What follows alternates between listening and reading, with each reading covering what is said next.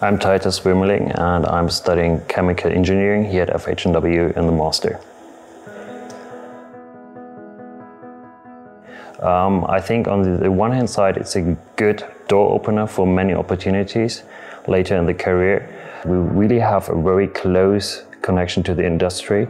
We have also different main topics in the studies. This is not just science, it's also a business part and a data science part. So you get the chance to get core competences where you can have a look inside that you later in the industry may be better prepared than others.